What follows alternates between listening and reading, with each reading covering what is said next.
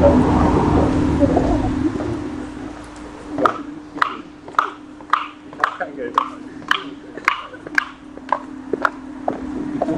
dreckig machen, gell? Nichts dreckig machen und schön anstellen.